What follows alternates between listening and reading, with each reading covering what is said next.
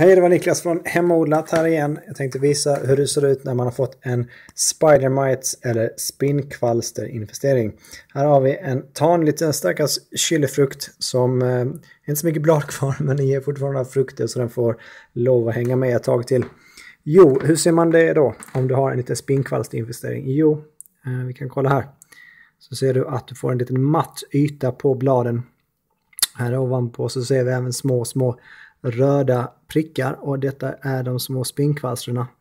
Eh, brukar sitta mer på undersidan och även på undersidan har vi inte riktigt, jo vi har ett par stycken där. Men det man framförallt ser är att de bildar små nät om man låter det gå för långt. Jag tror inte jag har något direkt nät och visa här. Jag försöker ändå hålla dem någorlunda i schack. Eh, det är en väldigt liten population här, inte så många blad kvar. Så att om, hur blir man av med de här? Jo, man kan ju göra den absolut mekaniska vägen och helt enkelt ta. Då får man sådana här väldigt snygga röda fingrar. Så kan man gå över och då får du också en känsla för hur mycket spinnkvalster du har. Du kan gå och känna på de här. Hur kan man annars göra? Jo, du kan ju spruta dem förstås. Um, när det...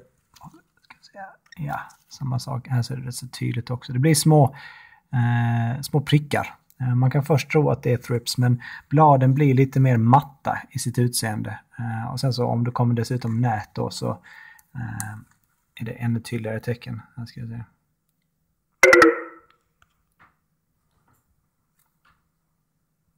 Hur blir man av med dem som sagt? Jo, den mekaniska vägen kan ju vara lite jobbig, helst om man har några stycken att ha att göra med.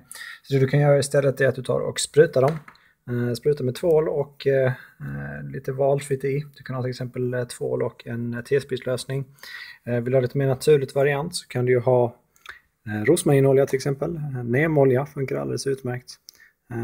Eller du kan även ha, om du verkligen vill bli av med det på med lite hårdare medel så finns det ju även Buretium. Men det får man vara känslig för framförallt vattenlevande organismer. Ehm, så så känner man igen Eh, om man har fått en liten Spidermite-infestering. Eh, försök bli av med den eh, så fort som möjligt, den kan lätt sprida sig.